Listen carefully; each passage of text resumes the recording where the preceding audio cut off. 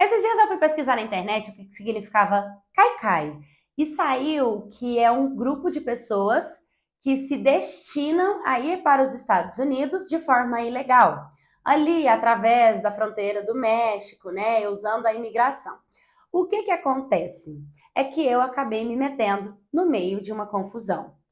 É, na minha casa, nós somos três irmãs, né? Sendo eu a caçula, meu pai e a minha mãe. Nossa família nunca teve uma condição financeira, oh, exorbitante, mas a gente também nunca foi de passar fome. Não era de ter luxos, mas também a gente conseguia comprar aquilo que a gente tanto queria. Até que a minha irmã do meio, ela já estava num relacionamento no qual o namorado dela foi para os Estados Unidos e ele estava indo bem, chegou lá, tal, e estava na hora dela ir.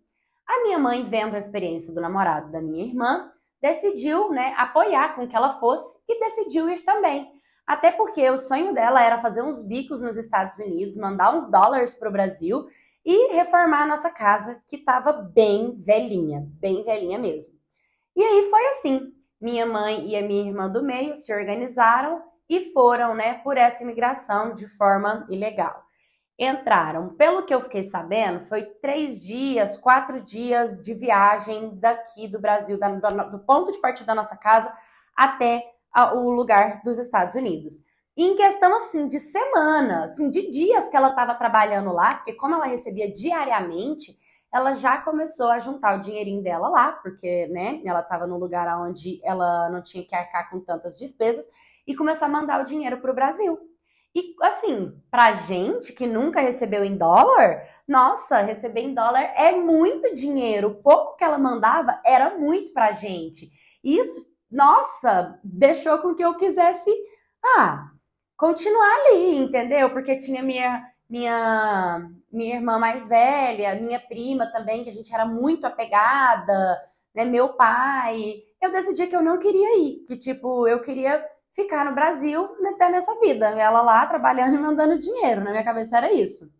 E aí passou um ano dentro desse contexto todinho. Dentro desse contexto inteiro, a minha irmã pegou e foi. Minha irmã mais velha decidiu ir. E parece que ela passou um perrengue, ela sofreu e voltou. Acabou sofrendo e voltou. E nisso que ela voltou, ela, ela falou assim: Olha, eu fiz errado, mas eu não vou desistir, eu vou fazer de novo, mas eu vou embora. Ela se organizou em questão de meses novamente e tentou de novo. E dessa vez ela conseguiu entrar. Então, minha irmã, que era a pessoa mais próxima de mim, também tinha ido. Então estavam minhas duas irmãs e minha mãe lá. E ela sempre mandava mensagem, ligava, falava como era bom, contava as experiências, né? Minha mãe sempre mandava dinheiro.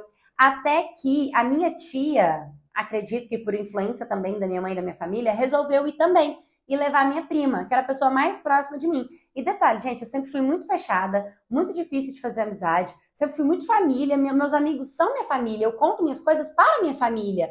Então, eu, eu sempre tive dificuldade de fazer amizade. Quando minha tia falou para minha mãe que ela ia para os Estados Unidos e estava levando a minha prima, juntou a minha mãe e as minhas irmãs e começaram a fazer muita questão que eu fosse também. Vem junto, aproveita que elas estão vindo, vem com elas. Você vai amar os Estados Unidos, aqui você vai ter de tudo. Vem, você vai gostar. Minhas irmãs fazendo uma questão, só que elas queriam que eu fosse com as minhas primas, não que o meu pai fosse.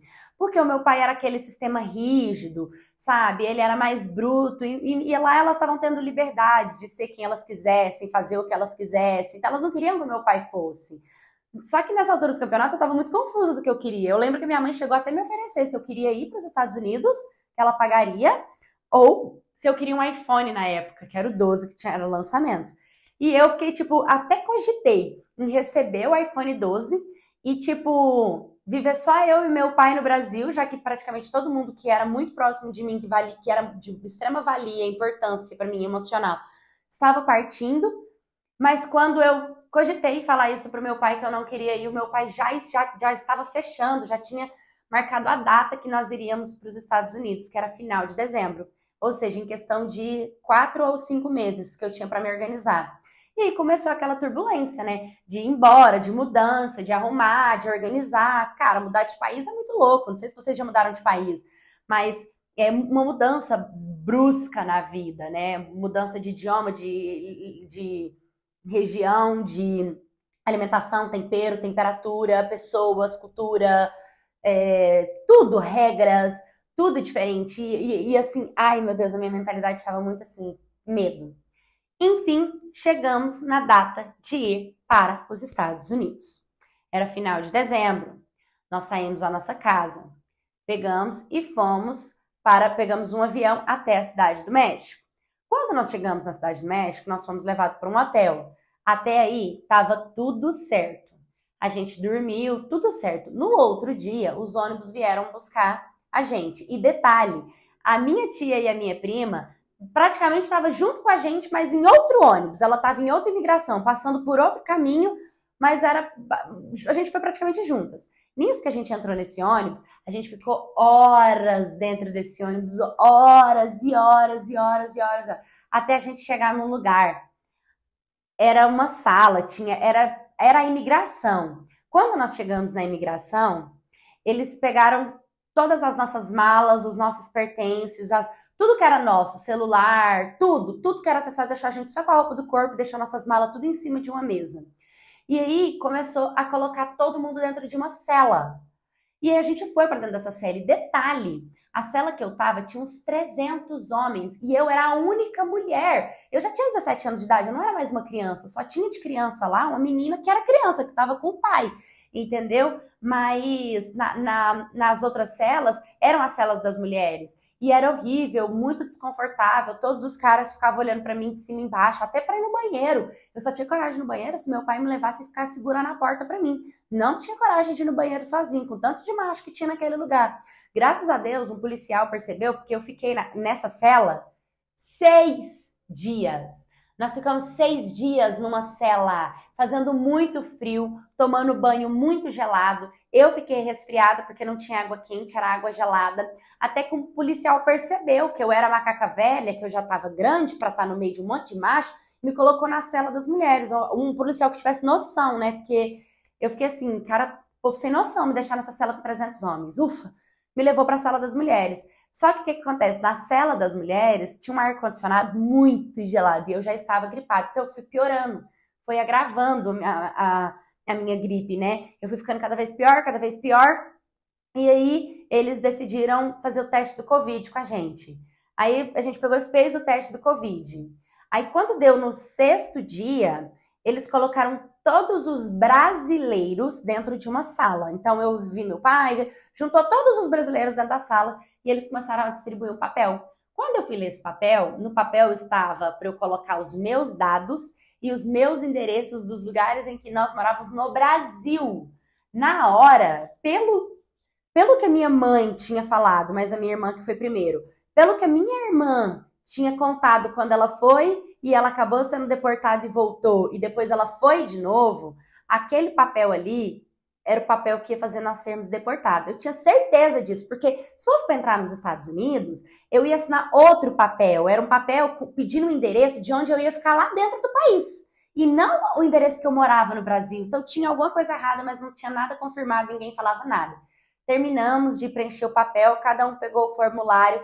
De repente, começaram a pegar todos os homens, colocar todo mundo na parede, começaram a algemar todo mundo acorrentado, algemado e acorrentado, parecendo um bando de bandido.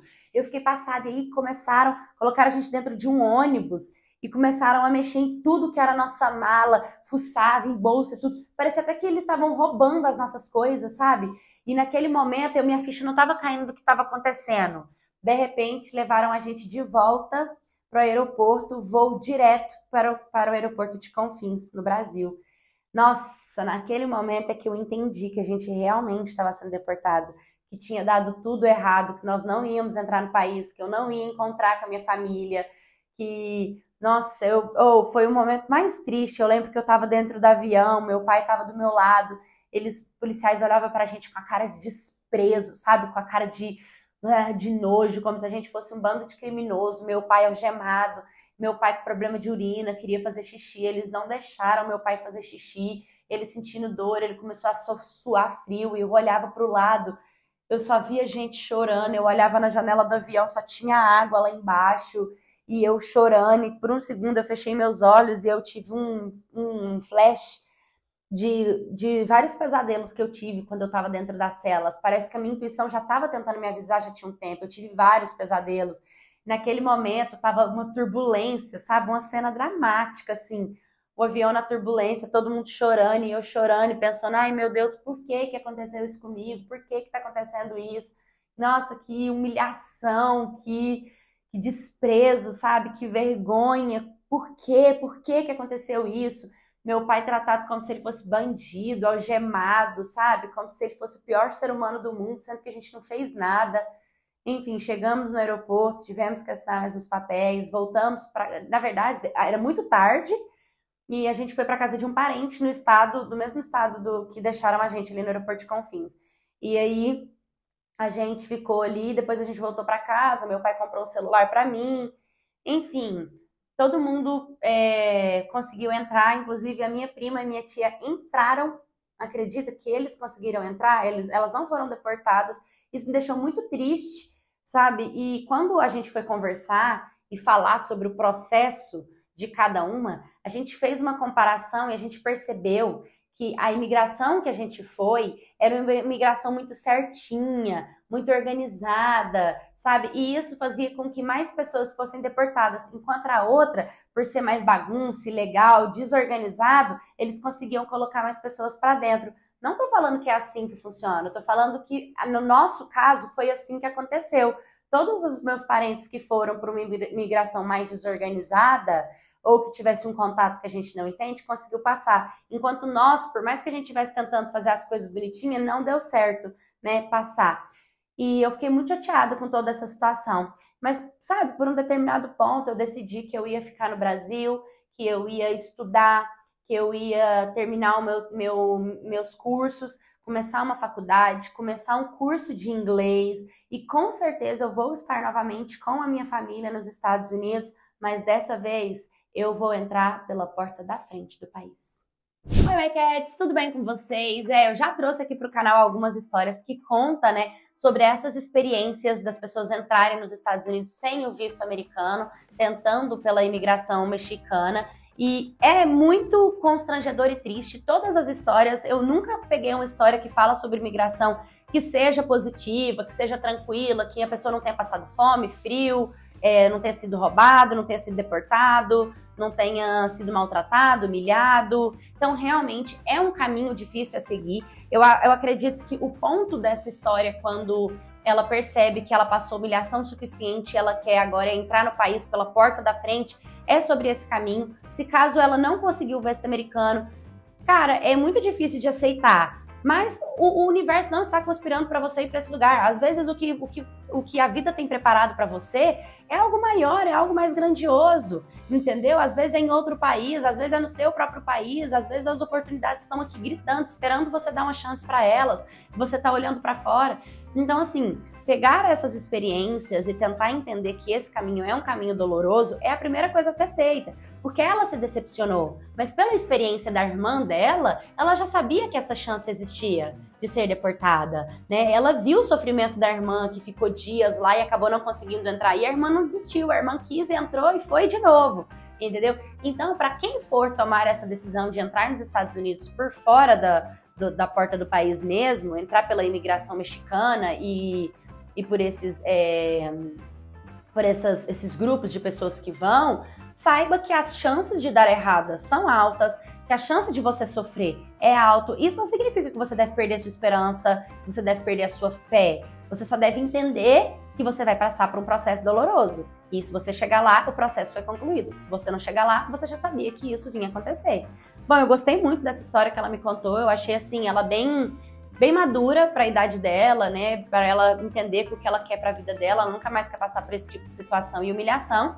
E, enfim, espero que dê certo, espero que você reencontre a sua família e consiga entrar nos Estados Unidos, dessa vez com visto, entrando e saindo quantas vezes você quiser do país, né? E sendo feliz. Se vocês também já tentaram entrar em outro país e tentaram de forma ilegal e passaram por perrengue situação, me conta em mínimos detalhes, que eu quero trazer tudo aqui pro canal. Entra no meu site www.diadepaula.com.br, me manda sua história por lá, curta, comenta, compartilha, se inscreva no canal. Um beijo e até o próximo vídeo.